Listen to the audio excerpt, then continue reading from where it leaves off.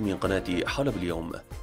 الأردن يطالب نظام الأسد بتفعيل اتفاقية استثمار مياه نهر اليرموك بين البلدين الموقعة عام 1987 ويعتبر زيادة عدد السدود والحفائر في الجانب السوري منذ ذلك العام تجاوزا للاتفاقية.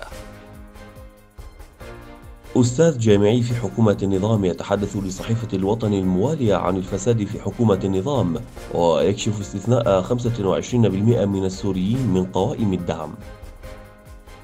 انطلاق حملة التطعيم الثانية من نوعها خلال العام الحالي في مناطق شمال غربي سوريا ضد مرض شلل الأطفال البالغ أعمارهم حتى خمس سنوات.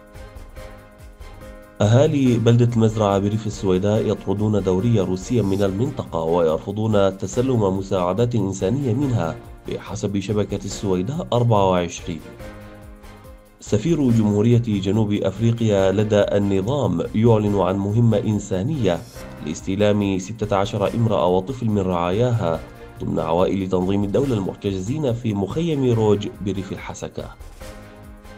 وزير الدفاع الأمريكي لويد أوستن يأمر بفتح تحقيق حول غارة أمريكية على بلدة الباغوز شرق دير الزور عام 2019 أدت إلى مقتل العشرات بينهم نساء وأطفال.